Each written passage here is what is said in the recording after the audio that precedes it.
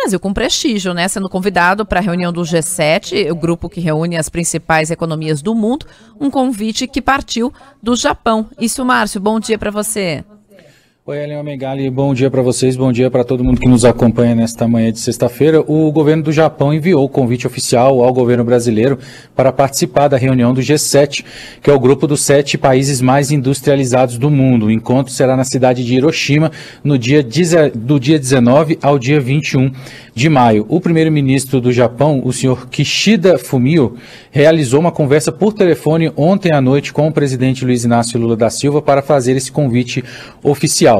Segundo a nota que foi divulgada pelo Ministério das Relações Exteriores, a expectativa é que Lula, com sua vasta experiência, desempenhe um papel ativo na reunião. De acordo com o comunicado, o presidente brasileiro teria afirmado que tem grande respeito pelo povo japonês e também pela comunidade Nikkei e expressou seu desejo de ampliar ainda mais as relações bilaterais nos campos econômicos. E a gente tem que lembrar também que no, na próxima semana o presidente Luiz Inácio Lula da Silva vai para a China também e que vai discutir aí novos investimentos no Brasil com o presidente Xi Jinping. Essa é, que é a próxima viagem presidencial ao país. Durante uma entrevista coletiva que foi realizada ontem, inclusive aqui em Brasília, com vários veículos de imprensa, Lula afirmou que quer que os chineses entendam que o investimento deles no Brasil é bem-vindo e que o país precisa construir novos ativos e não vender que, os ativos que já tem.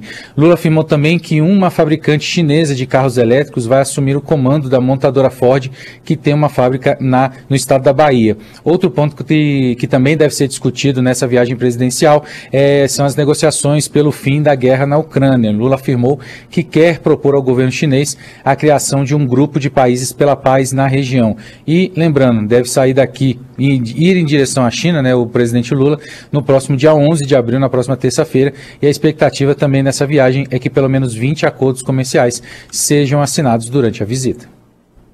Estou falando conosco. Quer falar, Miguel? Eu quero, quero saber claro. como é que está o tempo hoje em Brasília, Márcio. como é que está aí a nossa Brasília? Rapaz, está chovendo, viu? A gente está vendo aqui pelo, pelas janelas do estúdio, porque choveu durante toda a noite. Vou até dar uma olhadinha para confirmar exatamente o tempo, o, a temperatura nesse momento. 20 graus é a temperatura. A expectativa é que chova durante todo o feriado, inclusive até o próximo é, final de semana, né? A gente vai passar o feriado de, o feriado de Semana Santa aqui em Brasília chovendo, chegando ali lá para sexta-feira que o sol deve dar uma uma parecida, mas por enquanto é só chuva aqui em Brasília. Vou fazer, vou fazer uma pergunta, é, pergunta meio avulsa. Brasília alaga? Alaga. Alaga? Porque não alaga, tem, alaga. plano, né? Cidade é mais difícil alagar.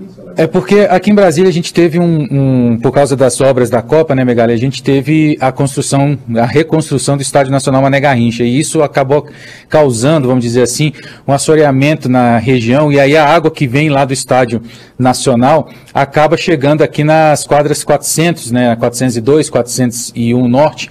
E aí aquelas quadras, né, de Brasília, a gente está vendo ali nas imagens do YouTube, à, à, direita ali tem um estádio, né? Então a água que cai ali naquela região do estádio vai toda para as quadras 400.